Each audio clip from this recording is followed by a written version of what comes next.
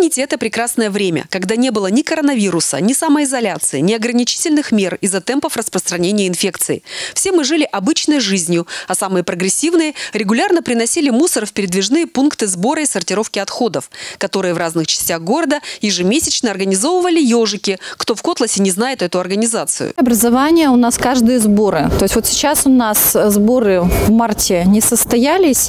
Мы очень ждем, что в апреле будет. И каждый раз к нам приходят новички, которые ничего не знают. У нас приходят те, кто уже были первый, второй, третий раз. Но еще есть вопросы. У нас есть даже сторожилы, которые с нами, ну, уже, не знаю, уже больше года, больше, уже сколько нам уже.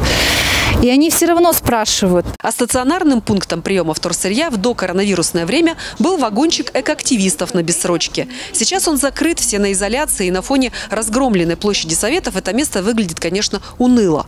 Но общественники не прекратили, а лишь приостановили свою работу по разделению мусора. Мало того, еще 10 марта они направили в администрацию и собрание депутатов предложение создать в городе первый агитационный пункт РСО.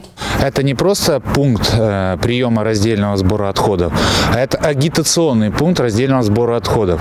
Основная его главная задача – это образование людей э, для того, чтобы э, мы могли уже в дальнейшем э, реализовывать все остальные там схемы с раздельными сборами отходов и большее количество именно вторсырья ложилось в ту корзину или в тот мусорный бак, в который это действительно было необходимо. Это мог быть отличный совместный проект городской власти и экоактивистов. Последние брали на себя строительство пункта, подбор кандидата на должность сортировщика-агитатора, организацию вывоза вторсырья и рекламу. Городу было предложено выделить 320 тысяч рублей на закупку строительного материала и 10 пластиковых контейнеров, а также на содержание постоянного сотрудника пункта с окладом 20 тысяч до конца этого года. Со следующего, по подсчетам общественников, пункт вышел бы на самоокупаемость.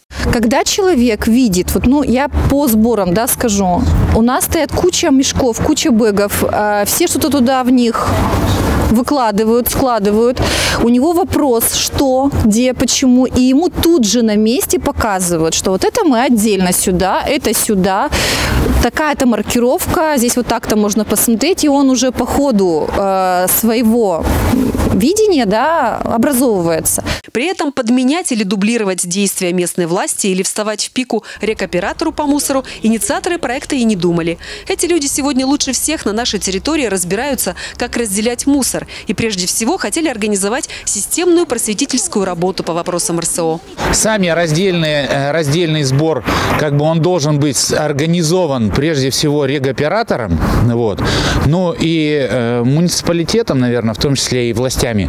А вот э, чтобы образовать людей, а, а вот э, это именно нужна такая инициатива, которая вот именно от руководителей, которые смотрят далеко вперед. Вот если они действительно болеют за, за, вот, за то, чтобы было меньше мусора, за то, чтобы люди стали образованнее, вот таких бы вот нам руководителей надо. Но на этой неделе они получили ответ за подписью главы города, в котором указано, что в Котласе и без того активно ведутся мероприятия по внедрению раздельного сбора отходов и что в бюджете ассигнования на создание агитационных пунктов РСО не предусмотрены. Сергей Мордовский признался, что надежды на другой ответ у него почти не было. Но он намерен представить свой проект новому руководителю области. А самое главное, рассчитывает на поддержку людей. Ведь раздельный сбор мусора и его переработка – это единственный шанс остановить надвигающиеся на всех нас свалки. Светлана Дейнека, Олег Сивачек, Кот News.